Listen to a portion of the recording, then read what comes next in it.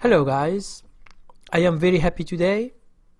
Yesterday and the other days I have made videos and I told you that the earning dates uh, are very important dates because it may have the stock may have a gap up or gap down.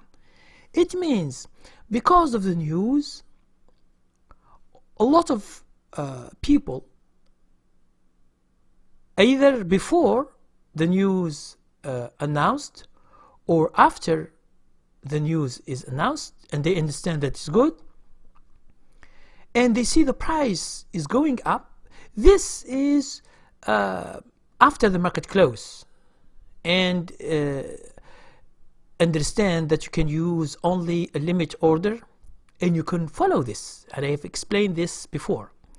Now this technique for me I do uh, I, I just uh, buy before the market uh, close and then I wait for the next morning and I see if there is a gap up or gap down.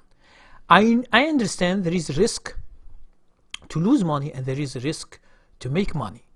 So if you, you don't want to risk don't do any trade because all this game is about risk. But there are other things you can do in order to limit the risk. And this I have shown in um, training level 8 how to minimize risk and maximize profits. And there are a lot of lot of techniques to use in order to uh, limit the risk in the whole account not just in uh, not just uh, in one uh, in one stock like stop loss. Now stop loss alone doesn't take the whole risk from the account. There are other things you can do okay? Now as you can see yesterday um, Apple was wa around 120 and then in the morning it was 129 and this I sold. I told you before that when I see a big jump in the price I sell.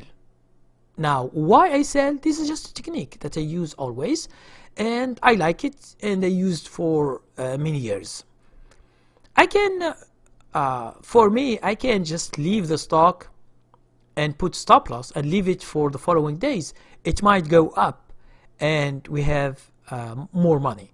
But for me, I try to get the profit now and follow the stock the following days. If the stock is still going up, I'll buy it again. These, these, these are just techniques that I use. Now you, you can use any other technique that you like. So I will make another video right now after this one and I will show you uh, the chart. It will be uh, better to understand uh, how this work and how you see the gap up okay?